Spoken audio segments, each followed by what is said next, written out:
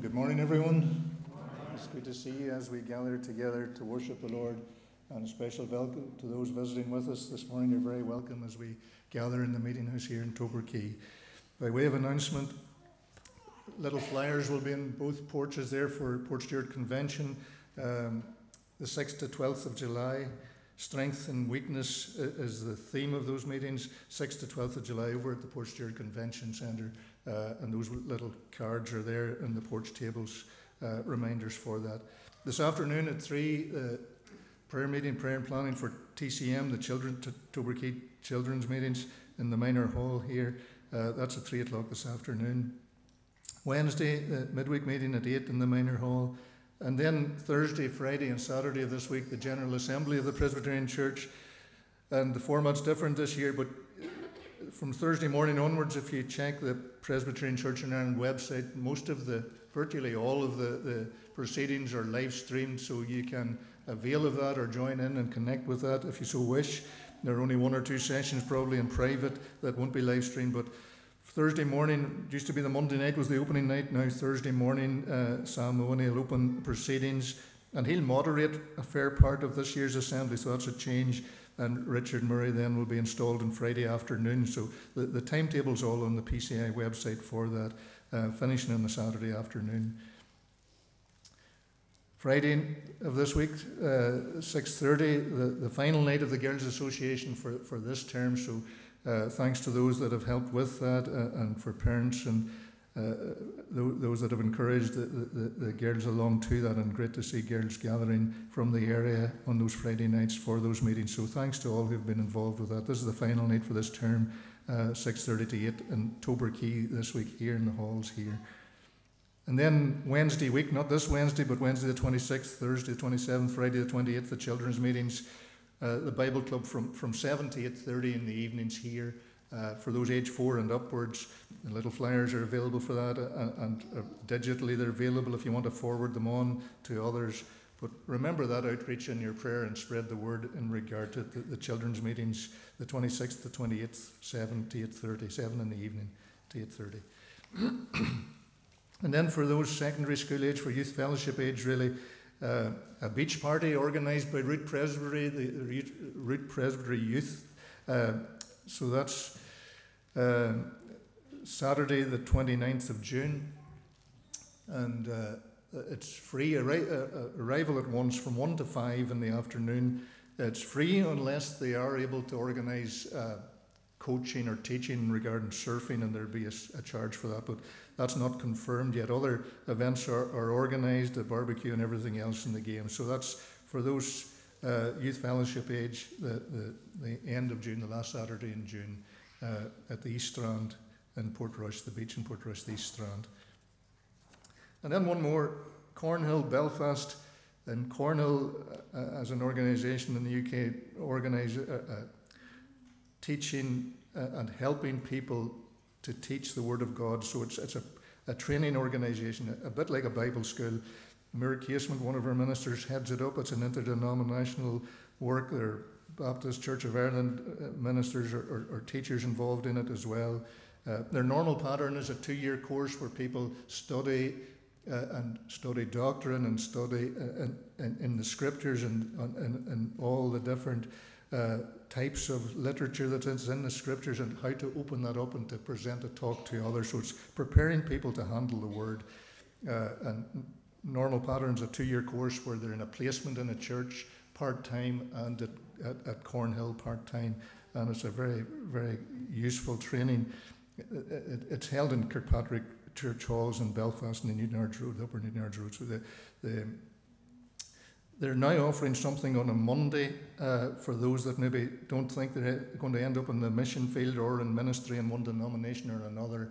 Uh, they're offering a one day a week uh, Monday course for those interested just in, in, being taught how to handle the scriptures right and how to, to open it up, whether for their own studies or for ho- holding uh, conversation with others or taking talks at, at, youth and children's events, whatever. Uh, so that, that's Monday. So if you want more information on any of that, let me know and I'll forward you details of Cornhill uh, and the training that, that they offer.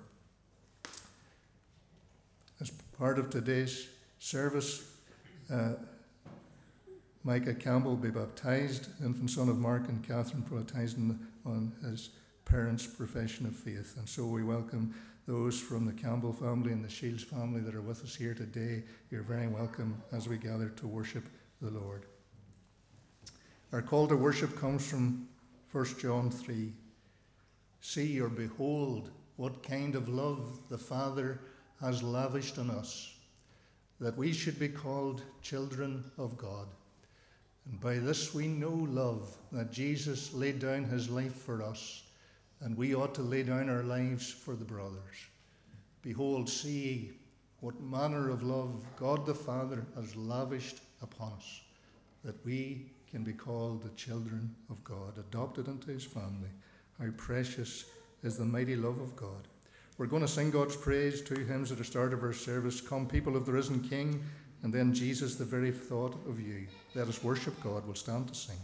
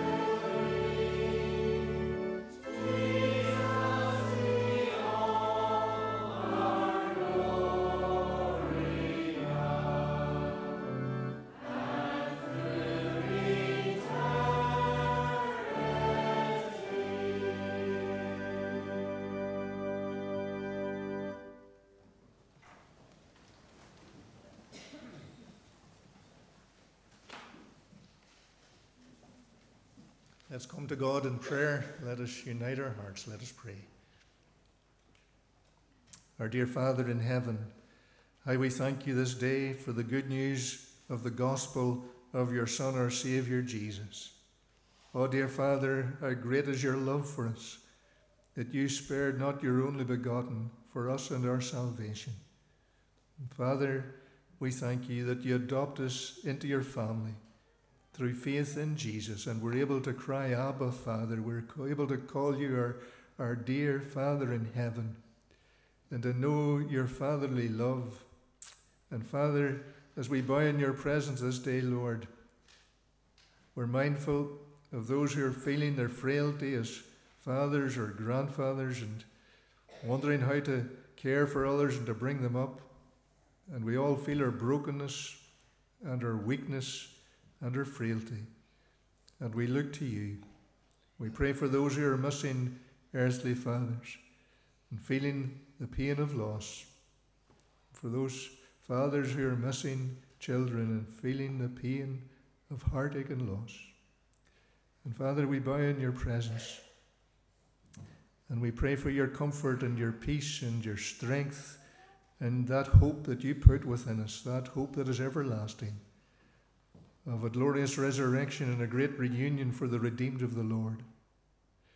And we look unto you, our Lord and our God. You're the God of all comfort and you're the God of all hope. And how we praise your holy name this day. And we're to come and rejoice because our Jesus has risen from the grave, having paid the debt we owe. And we're people of a risen King, a King who's triumphed over all our enemies who has defeated Satan and sin and death, and who has opened up the door of heaven for us. We thank you, Lord, for your mighty love, your redeeming love. Thank you for brothers and sisters in Jesus we meet with as we gather around your word. Thank you for the ministry of God, the Holy Spirit, in our midst and in our lives, turning hearts toward heaven, turning our eyes unto Jesus, the Lamb of God. And so we pray for that ministry of your Holy Spirit this day. Lord, grant to each one here this day that gift of faith, that gift of repentance unto life, that realization of how great is your love and your mercy, for you're slow to anger and rich in love. You are God and you delight to be merciful. O Lord, make us more like you. Make us a people who delight to be merciful to others around about us. Forgive us, Lord, when we're demanding a pound of flesh of others. Forgive us, Lord, when we're slow to forgive as you call us to do. You call us to forgive as we have been forgiven. Lord, empower us by your grace this day to live out our faith in the light of your love. Draw near to us in your mercy, feed us with your word, guide us in your truth. We thank you, Lord, that you speak through your word and through these sacraments that you've given to us. And today, as we think of the sacrament of baptism, we thank you for the wonder of it and the meaning of it. And we thank you, Lord, for all that you accomplish in and through it. And we thank you that it speaks to us of your mighty grace in Jesus. So fix our eyes on your precious Son. We ask it all in Jesus' name. Amen.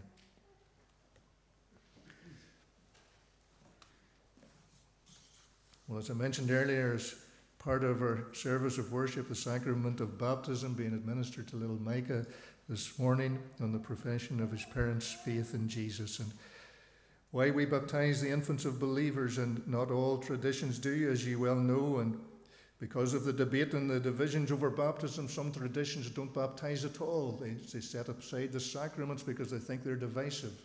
So the, the Quakers, the Society of Friends, the Salvation Army, some that don't, don't administer baptism. But that's not an option because Jesus instituted this sacrament along with the Lord's Supper, so it's not an option to set it aside.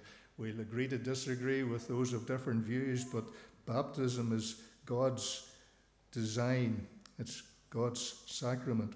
Jesus issued the command to make disciples and baptize, to make disciples and baptize in the name of Father, Son, and Holy Spirit. It's the apostolic practice as we read in the scriptures of the New Testament. Indeed, I believe it's the apostolic practice not only to baptize adults in the profession of their faith, but I believe the apostles baptized the children of believing parents. Otherwise, I wouldn't be baptizing any children.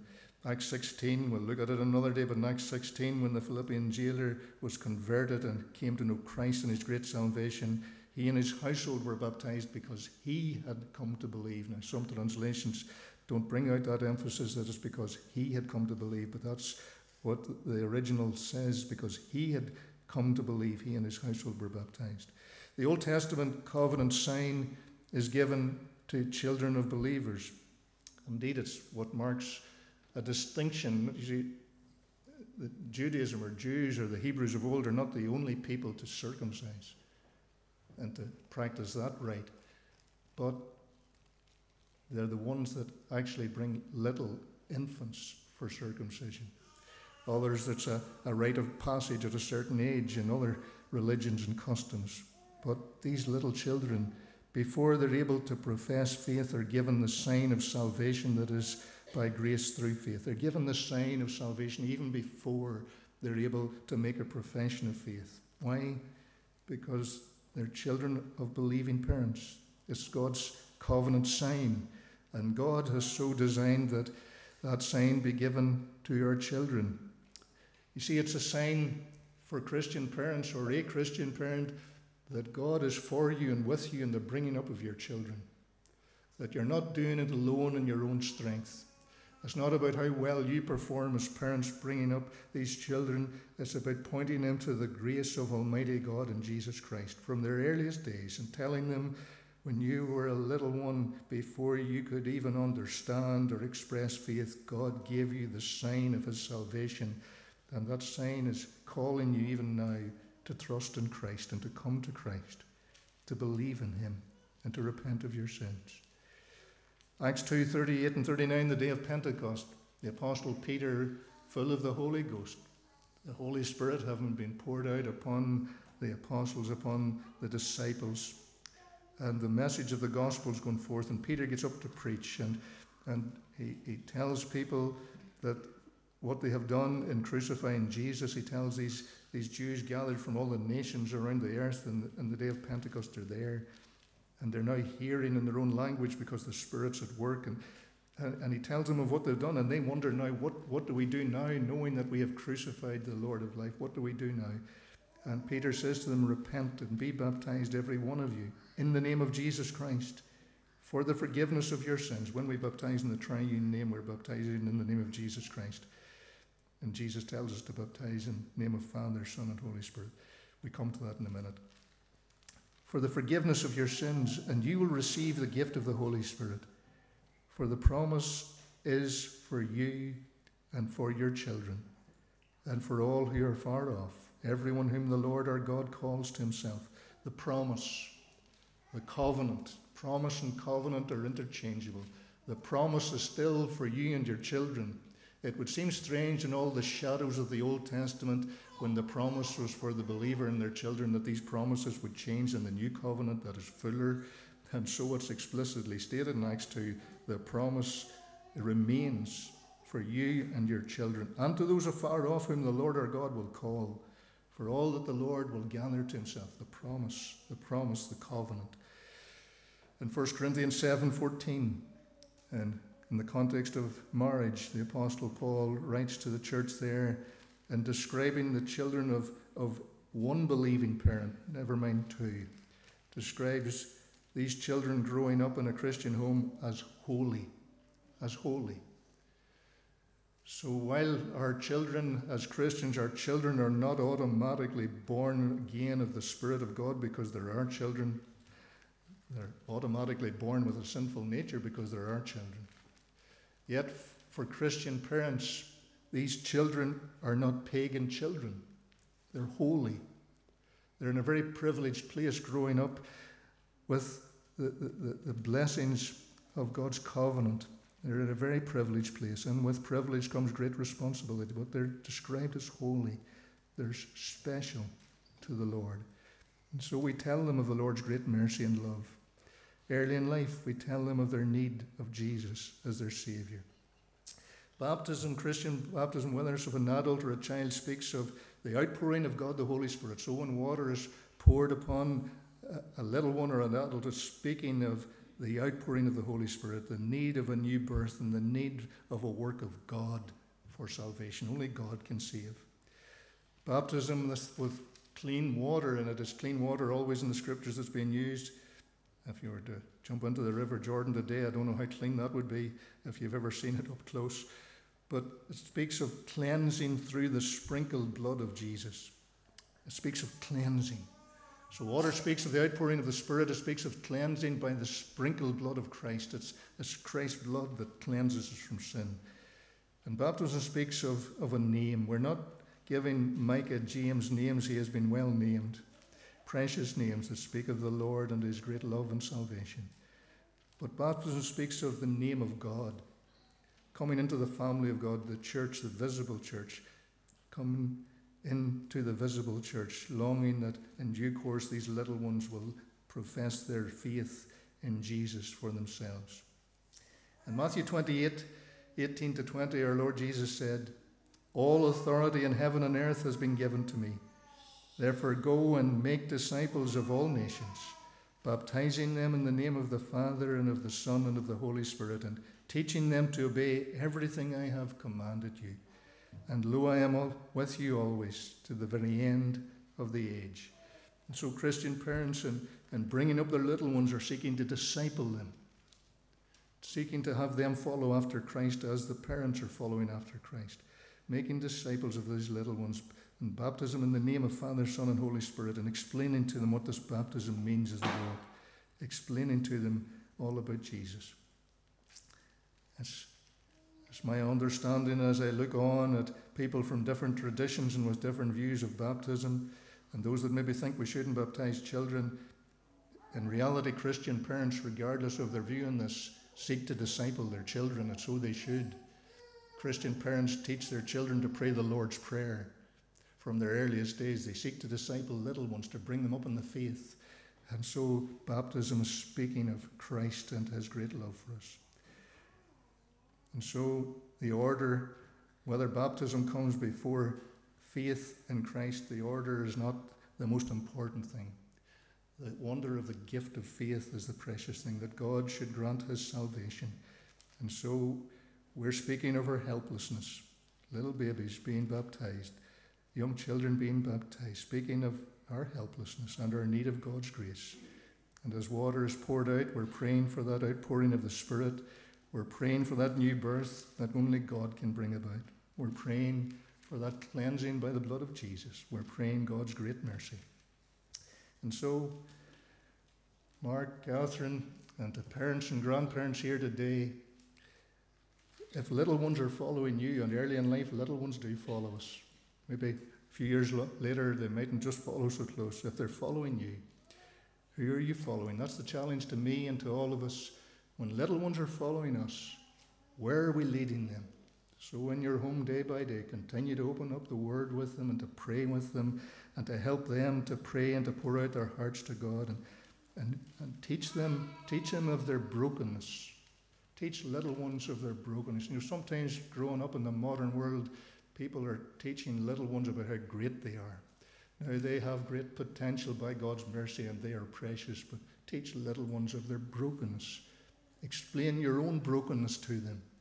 Don't be afraid to say sorry to them when you make a mess of things. Make them aware that you're in need of God's grace every day. Let them see what it is to repent of sin. Let them see what it is to repent of sin and to trust in Jesus by the way we live, that we might lead little ones to Jesus, that they would come to love him just as we love him. We're going to sing the first verse of the baptismal hymn, Our Children, Lord.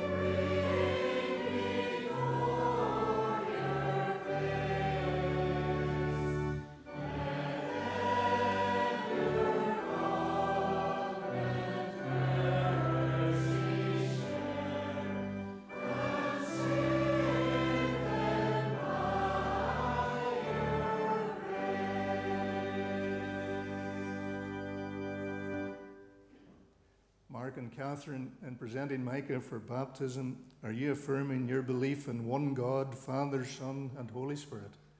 We are. And three questions then based on, on, on the strength of the Lord. Are you trusting in, depending on the grace of God, are you trusting in Jesus Christ alone as your Saviour from sin and as Lord of your life? Are. And are you committed to living as a follower of Jesus Christ, led and empowered by the Holy Spirit? And are you willing to provide a Christian home and bring up your children in the worship and teaching of the church so that they may come to know Jesus Christ as Lord and Saviour? We. And then to the congregation, a question to those in the congregation who know and love the Lord Jesus. And if you're able to answer positively, then say, We do. As we receive Micah into the fellowship of the church, do you promise, with God's help, to be faithful in prayer, spiritual nurture, Christian example, and influence for him and his family? And may God give us grace to obey him and to be faithful to him. Let's pray together. Father, as we stand here making promises, we feel our weakness. And we're thankful that you're the God who keeps all your promises. And every promise of yours is yea and amen in Jesus. So, Lord, grant your spirit and your grace to help, Lord, each one of us to live lives that point others to Jesus. Continue to bless Mark and Catherine in their marriage and with their family. Lord, as water is poured out upon young Micah, Lord, we pray for that work of your Holy Spirit in his young life, that early in life he will know the wonder of the joy of your salvation, the joy of sins forgiven. Lord, grant that gift of faith to each one of us. Watch over Micah and his sister Charlotte here and continue to bless them with health and strength. And grant to the whole family circle an awareness of your nearness this day. Turn our eyes unto Jesus that we might rejoice in the greatness of your redeeming love. This we ask in Jesus' precious name. Amen. Amen. Micah, I baptize you in the name of the Father, and of the Son, and of the Holy Spirit. And may the blessing of God Almighty, Father, Son, and Holy Spirit be with you evermore. We sing the Aaronic blessing upon Micah.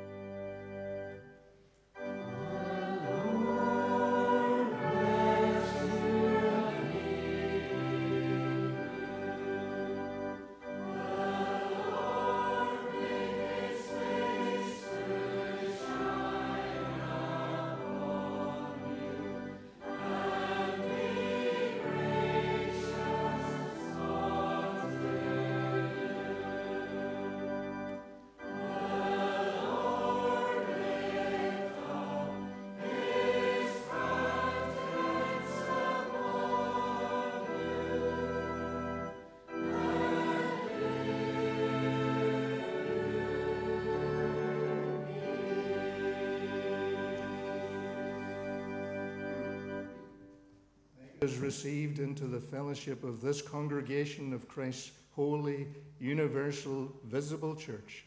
And we commend him and his parents and his big sister Charlotte here to your love and prayers. We sing the remaining verses of the baptismal hymn.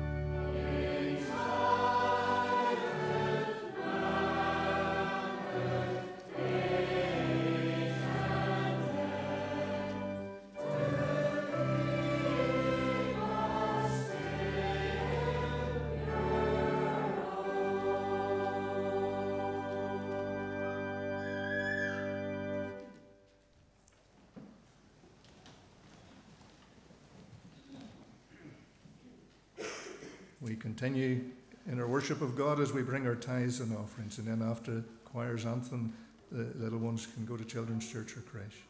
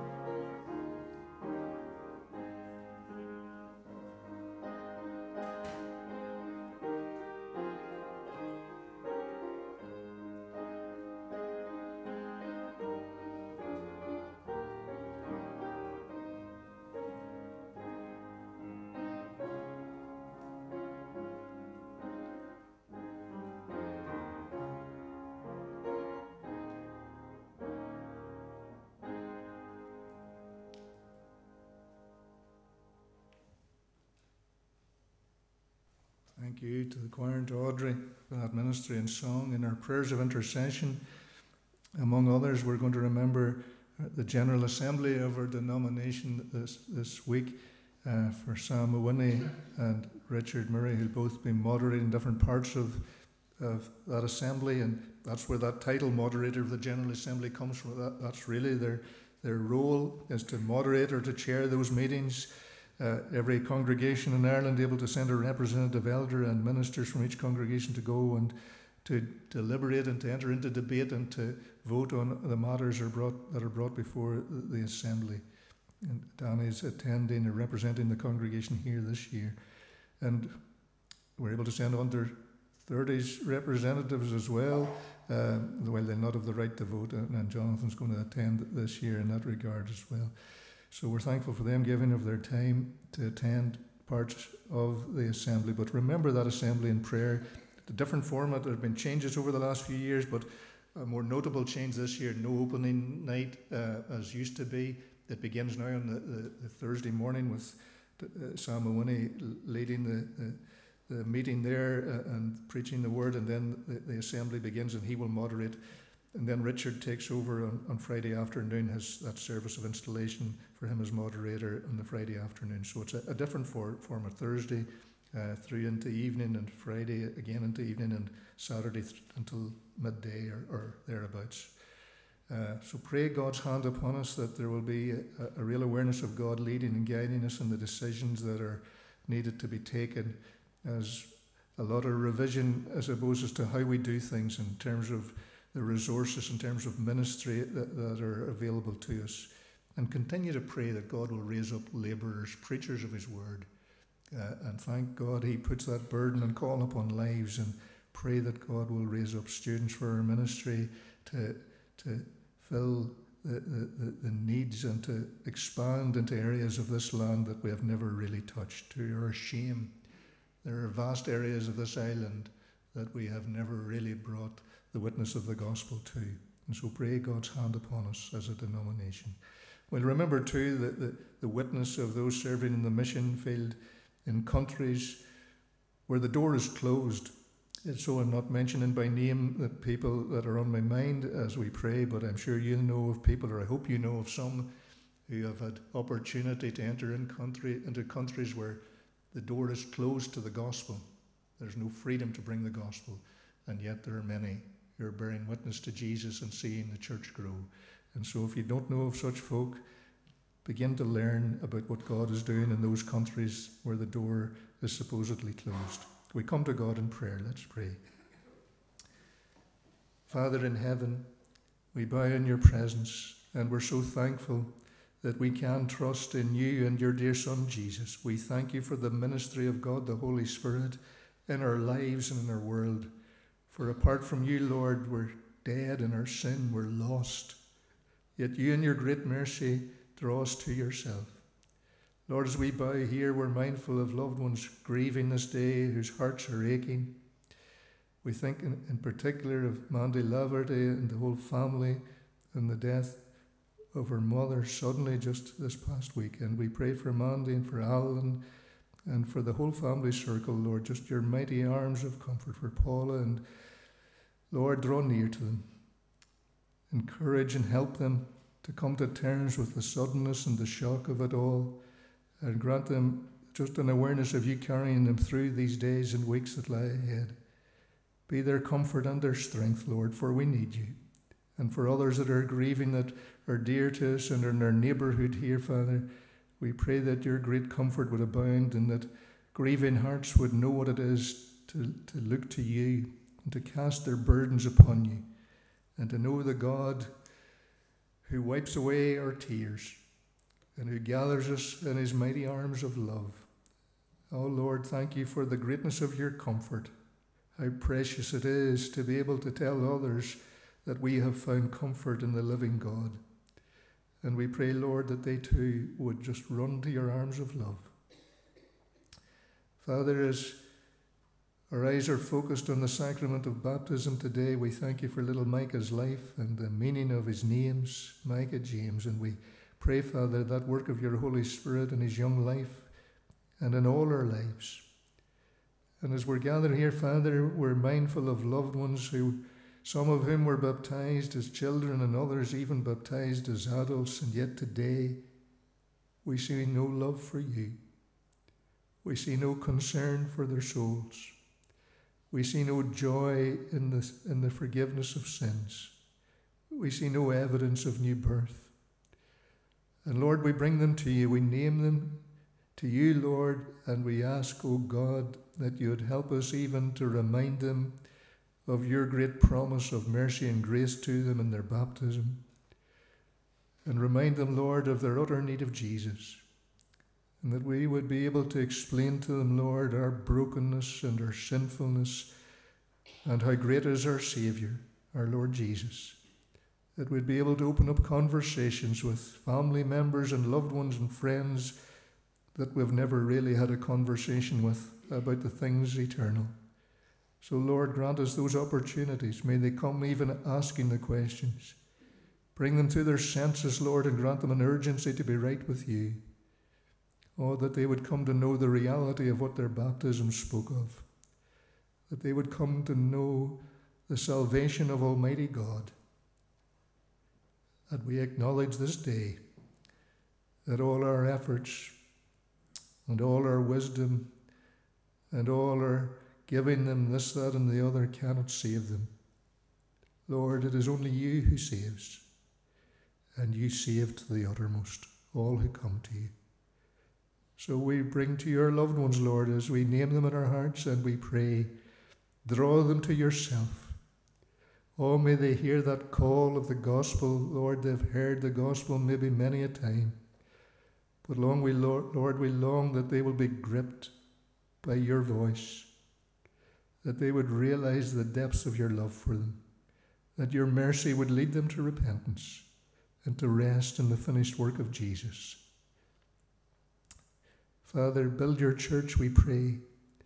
Grant to this denomination of which we are part your wisdom and your help and your guidance in the meetings of the week that lie ahead. Grant your spirit to watch over us and to prompt us and to guide us, and grant us ears to listen to those and the views that they're expressing, and grant us wisdom to know how to interact with it and how to respond to it. And above all, Lord, may we each one want to bring it all back to your word and to be rooted in and grounded upon the word of God, to do what you want us to do. May it please you to continue to use this denomination in the extension of your kingdom. Forgive us, Lord, when we've been slow to go, when we've been going over the same wee patch time after time and never really branching out into new ground, into areas where there's little gospel witness. And so, Father, grant us a, a, passion for your glory and a compassion for souls. Raise up labourers in your word, Lord. Burden hearts this day. Put a call upon lives to rise up and offer themselves in your service and to prepare and train. Raise up those preachers of your word and evangelists to take the gospel. And Father, we pray for those missionaries we know of in those countries where doors are closed, where governments don't want any gospel witness. And yet, Lord, you have brought your people in. And others have been there all along because the gospel had been there. And while people try to push it out, Lord, you will build your church. The gates of hell cannot prevail against you. And Father, we thank you for brothers and sisters Christ that you've given this great vision to, to, to use the skills and enabling that they have, whether they're engineers or medics or teachers or whether they're involved in agriculture and development work, and you've opened up the door into countries and they're there and they're living out their faith and they're speaking to others about Jesus and showing forth the love of Christ. And they're seeing people converted and growing in the grace of Jesus. And it thrills our hearts, Lord, this day to know of this mighty witness to your gospel. Oh, may you raise up more with that passion to humbly go and to serve and to even risk their lives with a concern for the souls of others and the glory of the name of Jesus. Raise up another generation for the mission field, Lord, we pray, that your good news will spread. Lord, there's so much hatred and bitterness abounding, wars and rumors of wars, and people stocking up and storing much and not willing to share with others. Lord, forgive us and grant us hearts of compassion. We pray for the children's meetings, Lord, uh, in a week's time. We pray, Lord, your hand upon the preparations for these meetings.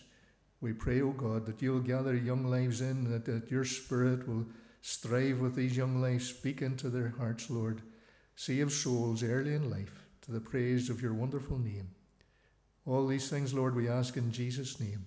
Amen.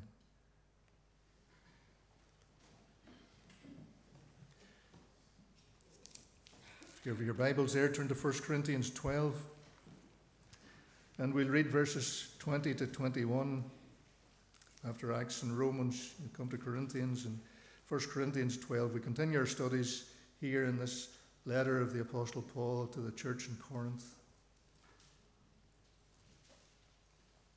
We read of the founding of the church in Acts 18. Paul spent 18 months there. He, he spent a long time there. God had assured him, God had told Paul that he had many people in this great city, many people that would come to faith.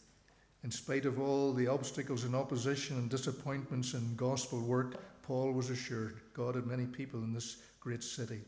A very modern city in its day, like cities that want to be modern in our day. The things that happened in Corinth were just like cities of the 21st century.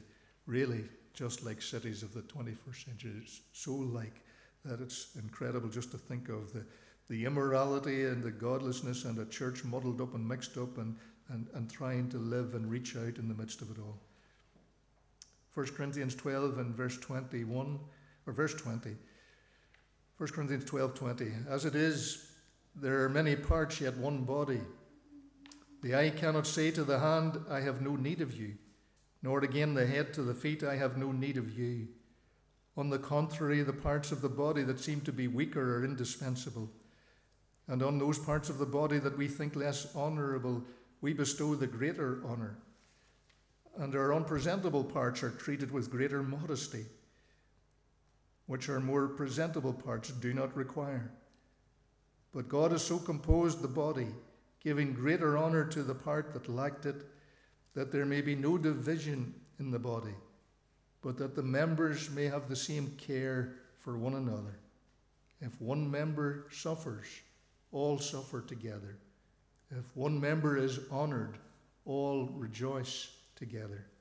Now you are the body of Christ, and individually members of it. Amen.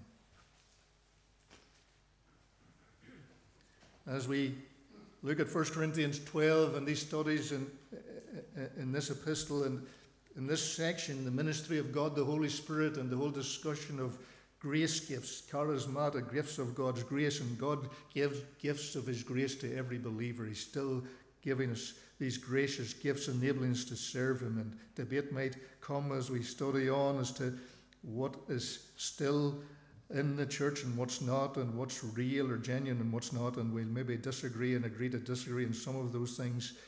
But very clearly, last week we were looking at the whole issue of body ministry. That the whole body, the church, God through the Apostle Paul is likening the church to the human body. Different members, different parts of the body, making up one body, and there is one church of our Lord Jesus Christ. And we're brought into the one church by the one Holy Spirit the one Spirit in baptism, and it's speaking of the baptism of the Spirit, and the Spirit brings us into the body. The one Holy Spirit brings us into the one church, and there is but one true church. And no denomination, no matter how bold they might be in their claim, no denomination can claim to be the one true church. They're denominations. And so that word Catholic, which means universal, is the whole church. It's, it's, it's not for one denomination with headquarters in Rome. The word Catholic is something that Protestants, as we said last week, ought to realize is something that we're all part of for Christ. Catholic means universal, and I have brothers and sisters in Christ scattered around this world. And when you come into contact with them, that's precious. When you go on your holidays and your travels, one of the most precious things of all, it's even more beautiful than seeing the great sights of the world, is to meet brothers and sisters in Christ and to learn from them. And don't miss out on that in your travels if you're traveling over summer weeks and months. Don't miss out on seeking out little fellowships, whether in this island or across the water or throughout Europe or beyond. You'll be surprised just where you might discover a little fellowship and how they'll go out of their way to embrace you and to welcome you and maybe translate what's going on for you so that you can understand. And many of them put us to shame in that regard and the effort they make to welcome people in. And the, the, the whole idea of body ministry, every member, every Christian to be actively involved in the ministry of the church. And we're not into a mindset of only one person ministering. While we set ministers or teaching elders apart to labour in the word, every elder is to be apt to teach the word, but ministers given this role or this privilege to labour in the word and to teach and to preach. Ephesians 4 reminds us that the very call of pastor teacher is to equip all the saints for works of service. So when the word is being rightly preached, taught, a whole church is being equipped to serve the Lord. Body ministry. But today we, we think of body health as this body ministry takes place, the great need for a healthy church. And church growth numerically is not always filled and marked by health. Indeed, some things that draw a crowd are often nothing to do with the gospel or the Spirit of God at all. A crowd can, can be drawn. You just need to look at sports stadiums around the world and see crowds drawn, and it's nothing to do with the gospel. So a crowd does not necessarily mean that things are healthy. A, a church that's growing numerically may not mean things are healthy. And, and the spiritual health and well being of the church is of vital importance if we're to effectively fulfill our calling where God has placed us. And so in verses 21 to 27, we focus in on this body health, the health of the local church and the worldwide church. And first of all, we discover that we need one another. In the previous verses, we, we had dealt with those that, that didn't feel themselves to be part of the body. And they're reminded that even though they didn't feel themselves to be part of the body or even needed in the body, that did not mean that they weren't part of the body. They still were a vital part of the body, even though they didn't feel themselves. And they're full of their feeling of inadequacy as they looked at others and maybe the giftedness of others, and, and they felt of little value and of little worth. And they, they, they didn't see any role for them within the body, didn't feel a part of it. But don't depend on your feelings. Your feelings are fickle and mixed up and messed up. Depend on the facts. And God says, when we come to Jesus Christ and put our trust in Him, we're part of the body, the church. We're a member of the body by His grace. And we're precious. Oh, yes, we're unworthy. We're unworthy of any good thing from God. But God places a worth and a value in our lives like no one else ever will. The wonder of the dignity that God gives to human beings made in His image, even though the image is marred by our sin, and yet this dignity and this reality that we're made in the image of God remains. And every human life is precious and has a worth and a value. God given. God given. And so we're to treat every life as precious and let every Christian know that their life and their ministry within the body is precious. In terms of body health, verse 21 here, we see that we need one another. The eye cannot say to the hand, I have no need of you. Hopefully, the eye can see sees what the hand or the hands do and knows they're needed in the body. You only need to get a little paper cut on your finger and discover that the hand's not able to do things, and, and you feel the lack of it and, and, and just the, the difficulty in doing anything. Never mind if you break a bone in your hand or your wrist or your arm, and, and this inability for a little while. And you realize how precious every little finger and every hand and every member of the body is. Indeed, humanly speaking, we often don't realize just how important the members of our body are until some of them aren't doing what they used to do. Or maybe they never did for some of us what they were meant to do. And we feel the reality of the lack of these members and their functioning. The eye cannot say to the hand, I have no need of you, nor again the head to the feet, I have no need of you. The head surely ought to know that these feet are precious and what they can do, and just the, we are fearfully and wonderfully made. On the contrary, the parts of the body that seem to be weaker are indispensable. Indispensable. These parts that maybe are thought to be weaker, they're indispensable in the body. They're precious, and we need them. And so, this realization that, Christian, you need brothers and sisters in Christ. We don't stand alone. Oftentimes, we, we come across Christians, and I suppose all of us could put ourselves in this, in this frame of mind at times, who struggle with the local church fellowship and say, it's just too difficult being part of a church, and it's made up of people, and they're all difficult. They're all just like themselves, just like me. We're all difficult at times, and, and part of a local fellowship is just difficult. And I can just walk up a mountain on a Sunday all by myself and worship God, and I don't need to be part of a fellowship. And God says, No, you need to be part. Indeed, I have made you to be part of the body of Christ. And yes, we can walk up a mountain and see the beauty of God's handiwork and stand in amazement, not just at the mountain, I hope, but at the God who made it all. That's what those great views are there to remind us of the greatness of God. But we need the church and we need to be part of it and using the gifts God has given us in the body, serving the Lord in the body. We need one another. And the weaker, those that appear to be the weaker parts or members of the body, are indispensable. So if you be Christ today and whatever gifting God has given you and whatever callings upon your life, you're an indispensable part of the body of Christ for as long as God would have us in this scene of time.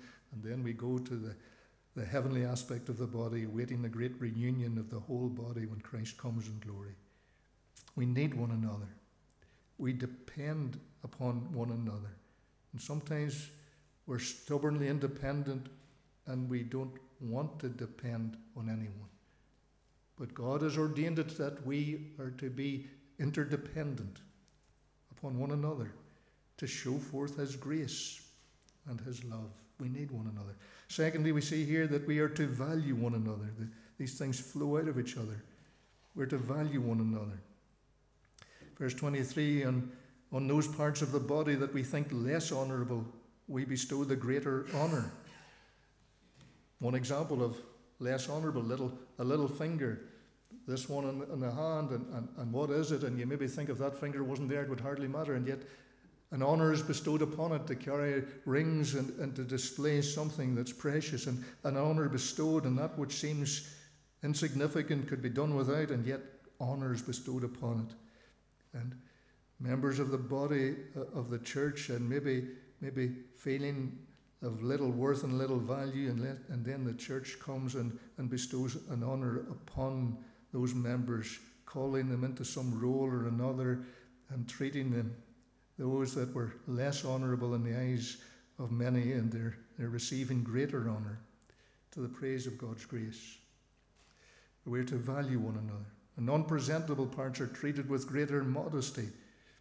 And so we realize that, that, that, that all these different parts of the body, whether internal or external, whether that which is presentable or that which we don't want to, to lay bare to anyone, these different parts of the body are all necessary and all valuable. And so it is with every Christian. Every Christian in the body is to be valued.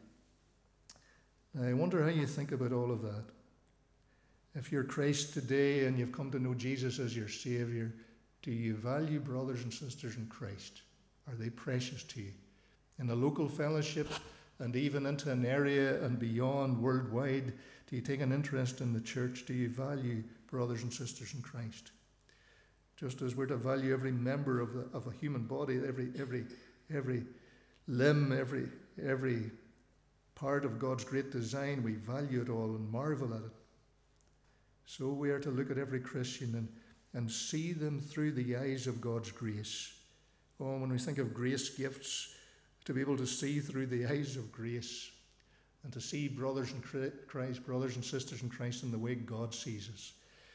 And so you might be irritated and, and frustrated with this boy in the pulpit, as I'm sure will be the case if it hasn't happened already.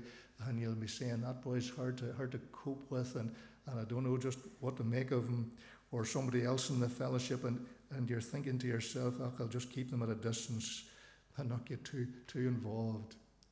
We'll start to see this boy through the eyes of grace, start to see one another through the eyes of God's grace, to look at, upon others in the way God looks upon us, as loved by Him and precious and forgiven and redeemed, and a work in progress, for God hasn't finished with us yet. He hasn't finished with us yet and start to show something of the love of God to brothers and sisters in Christ. Count them as precious. Are there brothers and sisters in Christ here today and you don't even know their names and you've been sitting in a meeting house with them for years? Are there brothers and sisters in Christ and you're not just sure who they are yet? Are they valuable to you?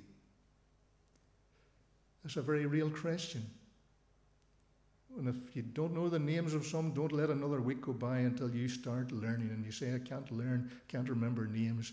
Write them down. Start praying for them. And you'll start to remember. and get to know them. And take the opportunities to get alongside people. Every member is valuable. We are to value one another. We need one another. Thirdly, in this body health, we are to live in unity with each other. For there to be no divisions among us. The, the whole ministry of God's grace and these grace gifts are, is for the well being of the church and the advance of the gospel to the glory of Jesus. In the same, uh, the, the verse 24, the end of it, God has so composed the body, giving greater honour to the part that lacked it, that there may be no division in the body. That there may be no division. if you've been in church life any length of time at all, you know that there are divisions in every local fellowship, in every denomination, there are divisions. In the church around the world, there are divisions. That the reality of that is painful. It's painful. And there are to be no divisions because we're all part of the, the body, and a spiritually healthy fellowship will seek to overcome those divisions in the grace of the Lord. Doesn't mean we always agree on all the secondary issues that we always see eye to eye, but we know how to agree to disagree and to love one another and to care for one another. And the, the wider, what's known as the ecumenical movement, a man made or a people centered organization, I suppose, trying to bring a unity about by man's design and best efforts, that is doomed to failure. And it's not something I'll be given my devotion to because it's a man focused unity. And it tends to set aside truth says now we're, we're spending too much time in the doctrines of things and in the gospel. We'll just set that aside and we all just need to come together and, and say that we're Christians and we want to unite. And you can't unite without the truth of the gospel. And there is to be a biblical ecumenism. Every reformed teacher and preacher down through the years that understood the gospel would have told you that. There is to be a biblical ecumenism that flows out of the gospel. So when Jesus is lifted up in the gospel and people come to believe in him and receive him as their Savior and Lord and follow after him, regardless of views on secondary issues that aren't foundational to the gospel, we agree to disagree and we're one in Christ and we're able to unite in many things in the advance of the gospel. And in local fellowships, we need that patience one with another, seeing others through the eyes of God's grace and saying, Lord, Grant me patience and love in my heart to love my brothers and sisters in Christ in something of the manner in which you love them. Grant me that love, that I would love people in something of the way you love me and you love them. And so I need the love of God shed abroad in my heart by the Holy Spirit every day. Romans 5, a wonderful portion of Scripture in regard to all of this. Oh, that God would shed His love abroad, pour His Holy Spirit into our lives day by day that we might love him and love one another. We're to live in unity. There to be no divisions. And it's the gospel that unites us. And it's the grace of God in the different gifts given to his people that brings unity. And, and so when you, you enter into the whole discussion about grace gifts and gifts of the Spirit, the different terms used for, for the language of 1 Corinthians 12 through to 14, if it's all about division, there's something wrong because the grace of God is turning our eyes onto Jesus and uniting us in the gospel and seeking to build up the church and to advance the kingdom. Fourthly, finally, in terms of body health today, in these verses, we are to show the same care for each other and the same care to every member. That's what's being brought out here. We're to show that same care, this, this unity. There are to be no divisions, that the members may have the same care for one another. Verse 25 the same care for one another. Not just caring for the people that we find easy to care for, but caring for the whole fellowship. So there'll be people that maybe you don't have much in common with, humanly speaking, and you're to care for them. And we're to show that love. If one suffers, all suffer. In the human body, you know it. If your big toe's not working too well, before you know it, your knees are getting out of line, and your hips, and your back, and your head, and the whole body's getting affected. And if one member suffers as the church body, the whole body suffers.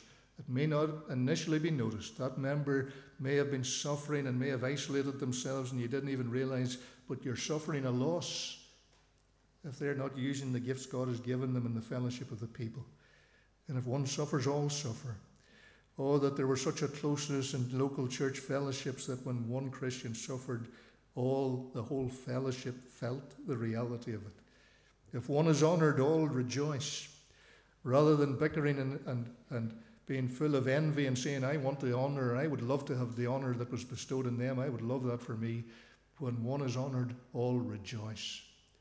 Such is the love and the care that ought to be in the body of Christ. And may God grant us such a compassion for each member.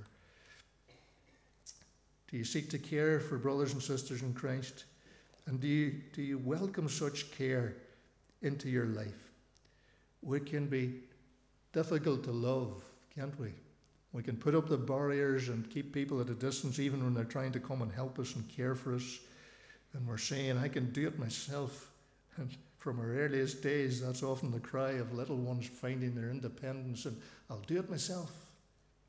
And then, even in adulthood, when we know we can't do it ourselves, we're still crying, I'll do it myself. That, that ourselves alone language goes far through a whole community, doesn't it? And we need one another. And we need the care of a whole fellowship. God has so designed us. And we need to welcome the love and care of brothers and sisters in Christ into our lives. And to realize, well, that person there, you know, that's trying to help me, I don't think they really know what they're doing. And but yet God has burdened their hearts and they're coming and they're trying to help and encourage. And I need to welcome them in and see this grace gift at work that's in their heart and lives. Body health, so that we might be effective for the glory of Jesus. May God make us fruitful in His service and grant us a health of heart and soul, not only as individuals but as a fellowship. We're going to sing in closing How Deep the Father's Love.